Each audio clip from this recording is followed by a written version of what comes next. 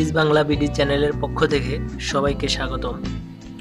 ক্রমবর্ধমান জনসংখ্যার সাথে তাল মিলিয়ে দেশে পোলট্রি এবং মৎস্য উৎপাদন দ্রুত বাড়লেও প্রযুক্তিগত জ্ঞানের অভাবে পশু প্রাণী সম্পদ বিশেষ করে ছাগলের উৎপাদন তেমনটা আশানুরূপ বাড়েনি।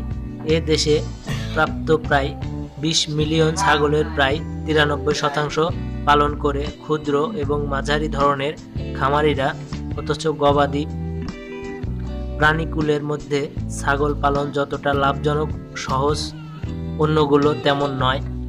ছাগলের যেসব জাত আছে, যেমন এগোরা, বারবারি, বিটাল, যমুনাপাড়ি, সুরতি, মারোয়ারি, মালবাড়ি, গাড্ডি, কাশি, Kashmiri,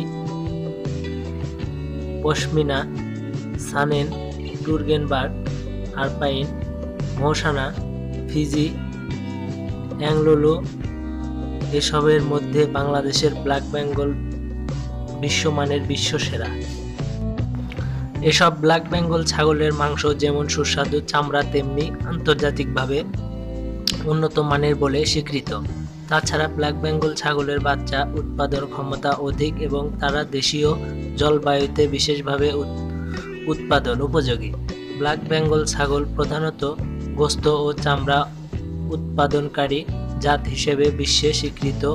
এজন্য আমরা খুব গর্ব করে বলতে পারি, ব্ল্যাক বেঙ্গল আমাদের ছাগলের জাত। এদের গড় ওজন পনেরো থেকে বিশ কেজি, কখনো কখনো তিরিশ থেকে বত্রিশ কেজি পর্যন্ত হয়। দৈনিক ওজন বৃদ্ধির হার দৈনিক বিশ থেকে চল্লিশ গ্রাম। নির্দিষ্ট পদ্ধতিতে ছাগল পালনের মাধ্যমে একজন ভূমিহীন বা প্রান্তিক খামারি বাড়তি আয় করতে পারেন। এমনও প্রমাণ আছে ব্ল্যাক বেঙ্গল ছাগল পালন করে অনেক আশাতীত সফলতা পেয়েছে। সুতরাং খুদে মাঝারি কিংবা বড় খামারিদের জন্য ব্ল্যাক বেঙ্গল ছাগল পালন একটি নিশ্চিত লাভজনক কার্যক্রম। ব্ল্যাক বেঙ্গল ছাগল বাংলাদেশ ছাড়া ভারতের পশ্চিম বাংলা, আসাম ও অন্যান্য রাজ্যে পাওয়া যায়। আকারে ছোট ও বড় দুই রকমের হয়।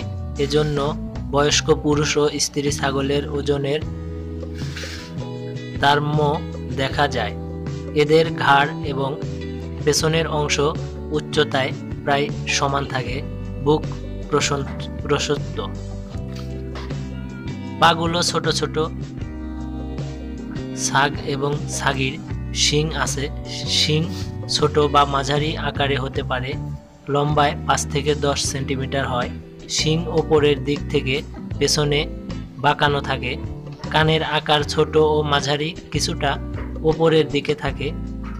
দেহের গড়ন আটসাট, গায়ের রং সাধারণত কালো, তবে ধূসর সাদা বা বাদামি রঙের হতে পারে।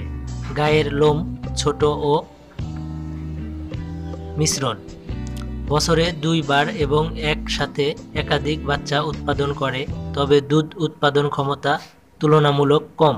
স্ত্রী ছাগল নয় থেকে দশ মাস বয়স হলেই প্রজননের যোগ্য হয় এবং চোদ্দ থেকে পনেরো মাস বয়সে প্রথম বাচ্চা প্রসব করে। বলা যায়, গোস্তের জন্য ব্ল্যাক বেঙ্গল সর্বকৃষ্ট, তবে দুধের জন্য যমুনাপাড়ি বারবারই ভালো। আর পশমের জন্য গাড্ডি ও অ্যাঙ্গোরা ভালো, ব্ল্যাক বেঙ্গল ছাগল পালনে সুবিধাদি তো এই ভিডিওটি আপনাদের ভালো লেগে থাকলে অবশ্যই লাইক করবেন, আমার চ্যানেলটি কমেন্ট করবেন এবং সাবস্ক্রাইব করতে ভুলবেন না বন্ধুরা। সবাই ভালো থাকবেন, সুস্থ থাকবেন। আসসালামু আলাইকুম।